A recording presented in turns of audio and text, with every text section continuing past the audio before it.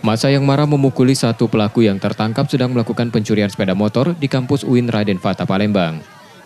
Polisi yang datang ke lokasi kejadian kewalahan saat akan mengevakuasi pelaku dari amukan masa. Bersama pelaku polisi menyita satu kunci letter T. Pemilik motor mengaku pencurian berawal saat korban lupa mengambil kunci motor. Saat itulah pelaku berusaha membawa kabur motor korban namun terjatuh. Itu nyampa, pas nyampa tuh baru teriak. Aku tahu pun itu tuh motor aku.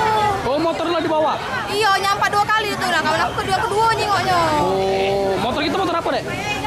Motor beat. Dia tadi Beat. dia tadi merusak kunci apa kita mana? Tidak, kunci itu ada di itu. Aku tuh dua kali. Nah, lupa gue nyabutnya bentar. Aku tuh minggir bentar. Kasus tersebut kemudian ditangani polisi dari Polsek Kemuning Palembang. Jian Peripapin, Kompas TV, Palembang.